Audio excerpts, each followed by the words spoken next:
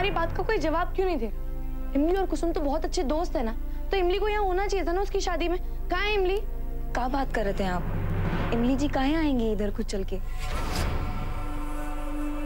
तो क्या मालूम नहीं कि वो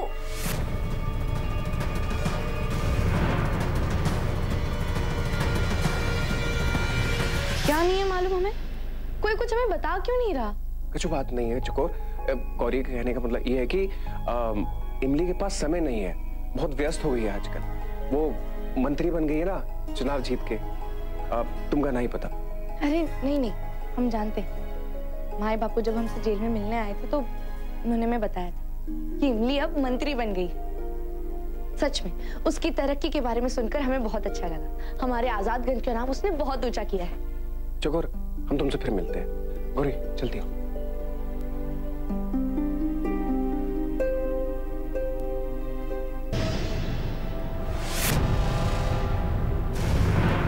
बारात आ गई उठिए ना चलिए। नहीं रुक जाओ। ये क्या हो रहा है आजादगंज वालों? हमारे बस्ती की बेटी की शादी है और सबके चेहरे देखो कैसे मुरझाए हुए हैं। यहाँ कोई नाच गाना क्यों नहीं हो रहा? होना चाहिए ना। ए बिटिया वो कहा है कि ब्याह इतना जल्दी जल्दी आपाधापी में हुआ कि नाच गाने वालों को बुलाना तो भूल ही गए। और वैसे भी छोटा सा तो ब्याह है। काहे का नाच गाना बिटिया? तो क्या हम अपनी कुसुम की शादी ऐसे ही हो जाने देंगे? बिल्कुल हमें तो लगता है, हमारे जाने के बाद से लोगों ने इस बस्ती की लड़कियों पर ध्यान देना ही कम कर दिया। पर कोई बात नहीं, अब हम आ गए ना, अब हम सब ठीक कर देंगे। यहाँ नाच गाना भी होगा। और हम बस्ती वाले कम है क्या, जो बाहर वाले आके नाच गाना करेंगे? बिल्कुल नहीं, हम खुद नाचेंगे हमारी कुसुम की शादी में। तो बताओ, हमारे साथ कौन नाचेगा? हमारी कुसुम की खुशी के लिए हम इतना तो कर ही सकते हैं ना। हम देंगे ना तुम्हारे साथ।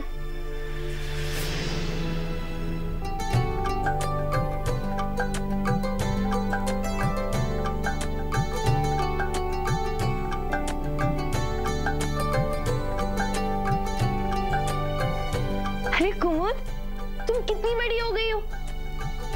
कैसी हो तुम? और तुम्हारी सहेली पाखी कहाँ है? वो अब हमारे साथ ना खेले थे दूर दूर रहती है हमसे। क्यों? पता नहीं। अब चलो ना हम गाना गाइए मिलके। फिर तो पता नहीं भेद होगी कुसुम दीदी से। चलो।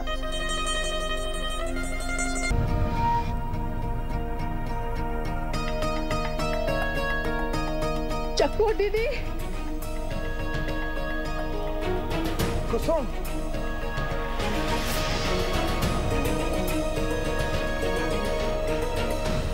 कुसुम कितनी सुंदर लग रही है। कैसी है तू? क्या हुआ? इतनी उदास क्यों है? आज तो तेरी शादी होने जा रही। तुझे तो खुश होना चाहिए ना।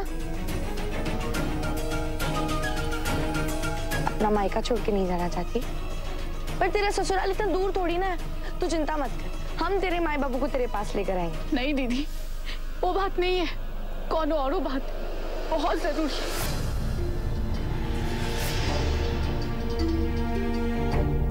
ए बिटिया ये बातें तो होती रहेंगी। लगन का मुहूर्त बीता जा रहा है बिटिया। चल चल ना बिटिया।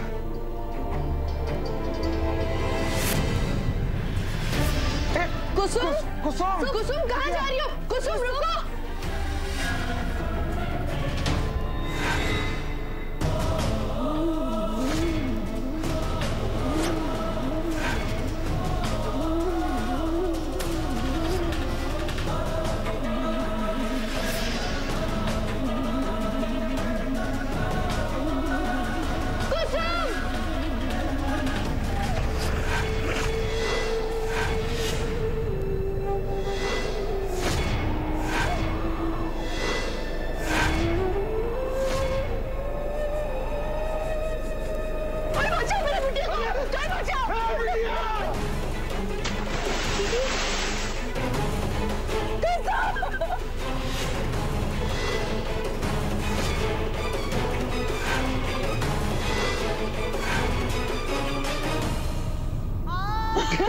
हटो। कुसुम कुसुम, आँखें खोलो कुसुम। अरे दीदी चकोरिया अब वो कबहू नहीं उठेगी। चली गई अपनी कुसुम, चली गई। क्या किया तूने बिटिया शेखर काका कुसुम ने आत्महत्या क्यों की? क्या आप ज़बरदस्ती उसकी शादी करवा रहे थे? कुसुम ये शादी नहीं करना चाहती थी अपनी मर्ज़ी से? अरे तू चुप कर चकोरिया। तू इतने सालों बाद यहाँ वापस आई है तू काहे किसी के बीच में बोला चुप कर तू। हो गया इसका? संभाल अपने आप को। संभाल। तू रह कस्तूरी। हमका झूठा दिलासा मत दे। हम पे जो बीत रही है ना, हम ही जानते तू हमारी हालत समझ ही कैसे सकते तुम्हारी बिटिया तो सारा अत्याचार बस हम लोगों पे करते तू और भुवन तो सुखी है ना? क्या? काकी, आप क्या कह रहे हमने अत्याचार? हम तो अपने बस्ती वालों का हमेशा भला चाहते हसादगंज की आज़ादी के लिए हम जेल तक चले गए आप अब पर आरोप लगा रहे हमारे माए बाबू को दोष दे रहे मजवा वो कछु नहीं बोल वो, वो कछु और बोले थे क्यों ना बोले भाई? काकी आपको और बापू को दोष दे रही है। अरे तू कहा जानते या पाँच साल में कहा से कहा हुई खबर? क्या हुआ क्या है? हमने क्या किया है? अरे चकोरिया तोहरे बारे में बात नहीं ही करत है। इमली के बारे में बात करत है।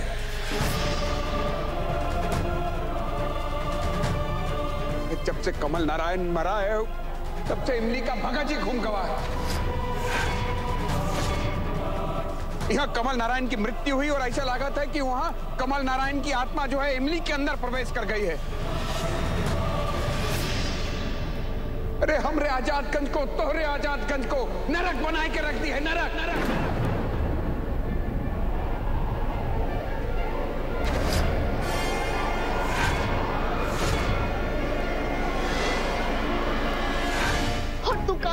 चकोरिया कमल नारायण का बाद हमका सच में आज़ादी मिल जाए है। नहीं आज़ादी तो हमारा नसीब में ही नहीं है।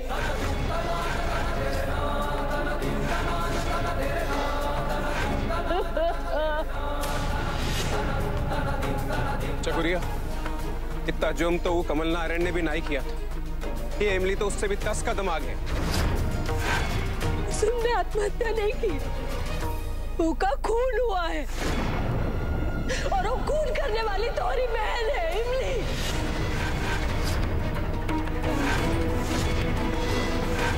ये मासूम बच्चों का खून है तोरी बहन के सिर पर। तोरे पूरे परिवार पर।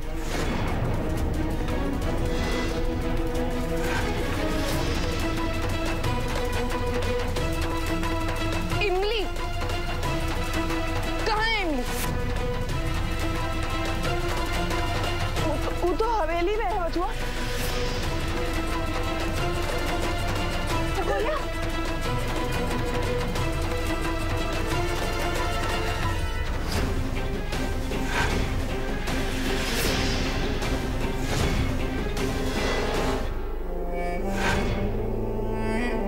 शायद यही हमारी वो मूर्ति जिसके बारे में सूरज ने हमें जेल में बताया था। ये हमारी मूर्ति पर संजीरें किसने लगा कर रखी?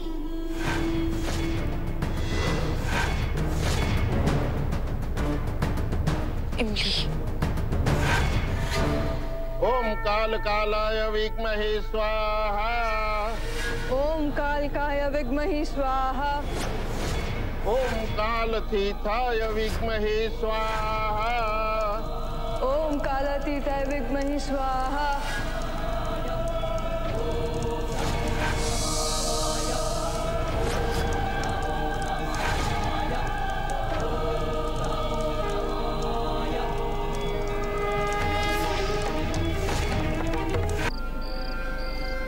ए कहाँ घुसी चली आ रही हो?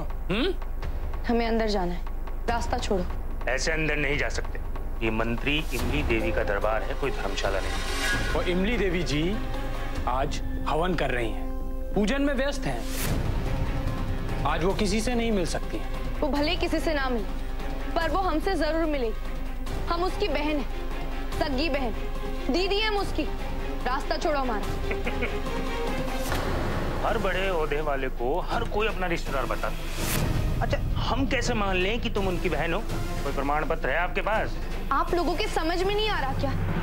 रास्ता छोड़िए हमारा। हमें इमली से बात करनी है।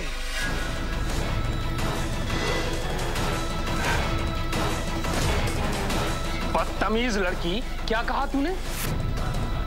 इमली देवी जी को इमली कहा तूने? तुझे पता नहीं है क्या? यहाँ इमली देवी जी को किसी और नाम से पुकारने की सजा मौत है, मौत!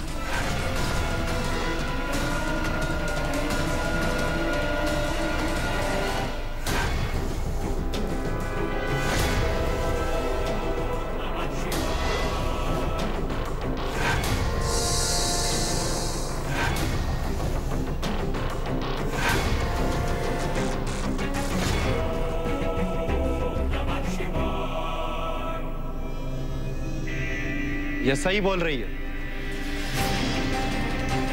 ये मंत्री इमली देवी जी की सगी बहन।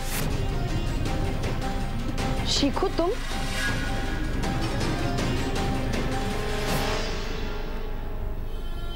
हमसे बहुत बड़ी भूल हो गई इमली देवी जी। हमको माफ़ कर दीजिए। हम आज के बाद टीवी वालों से आपके खिलाफ कछू नहीं बोलो हमारे मुँह से ही कहीं से निकल गया कि आप अत्याचारी हैं। हम पे दया कर दो।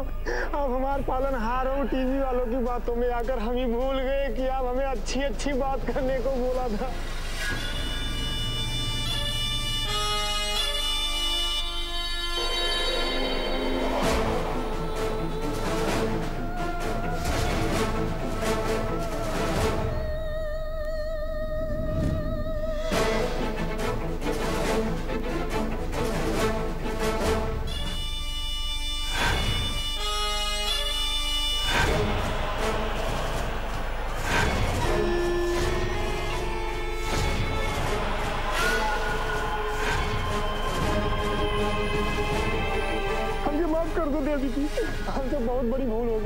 में बहुत बड़ी भूल कर दिया तू। अब हमारे प्रकोप से हम भी तो को नहीं बचा पाई हमारे खिलाफ बोला तू। हमारे खिलाफ। अब की सजा बहुत भयंकर हो गई बहुत भयंकर।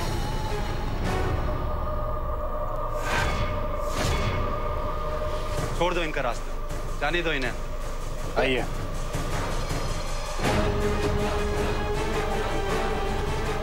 हमके क्षमा कर दो। कम के माफ़ कर दो।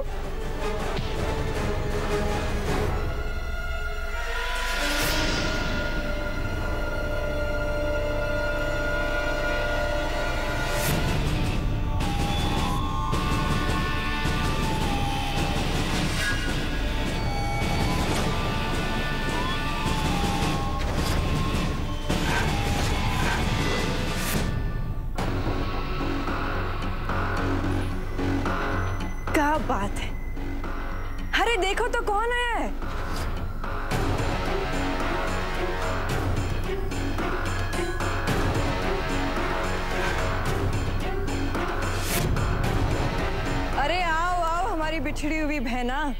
आओ। मेरी तो आँखें तरस गई थी तेरे दर्शन के लिए। तू तो कल आने वाली थी ना? आज कैसे आ गई? वैसे वैसे तारीख का है आज? वो कहा है ना, आजकल हम इतने बिज़ी रहते हैं कि ये तारीख वगैरह हमको बिल्कुल भी याद नहीं रहती। और वो कहा है ना, तेरी छोटी बहन है, मंत्री जो बन गई। और तू तो जाना था कि मंत्री लोगों का कितना काम होगा। था अब पूरे आजादगंज को अकेले संभालना बहुत मुश्किल। कल सेक्रेटरी को बोले रहे थे तुम्हारे बारे में याद दिलाने के लिए। अगर देखना वो भी भूल गए अगर हमका याद होता तो हम हम भेजते किसे बुलाने के लिए। कुछ करते इंतज़ाम। अगर चल, ये भी ठीक है। कि तो खुद ही आ तू आई भी है तो बिल्कुल सही समय पर। हर साल की तरह इस बार भी। हमने काल भैरव जयंती की पूजा रखी थी। ताकि हमारी बस्ती में शांति, उन्नति और समृद्धि बनी रहे। महाकाल भी तो महादेव का ही रूप होगा था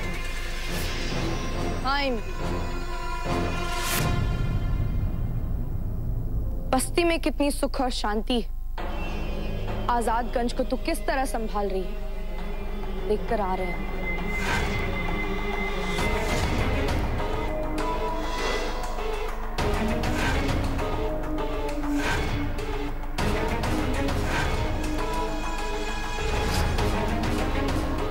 तो को आए हुए को दिन भी नहीं हुआ और तूने अभी से ही जाँच पड़ताल शुरू कर दी। ये सब तोरे काम की बात नहीं है। इन सबसे तो जितना दूर रही है, उतना ही तोरे लिए अच्छा। है। इमली, तुझे जवाब देना ही पड़ेगा। आजादगंज में सब लोग इतने डरे डरे से क्यों हैं? कुसुम ने आत्महत्या क्यों की? और बस्ती वालों का ये कहना कि उसकी मौत की जिम्मेदार तू क्या चल रहा है? क्या कर रही है तू?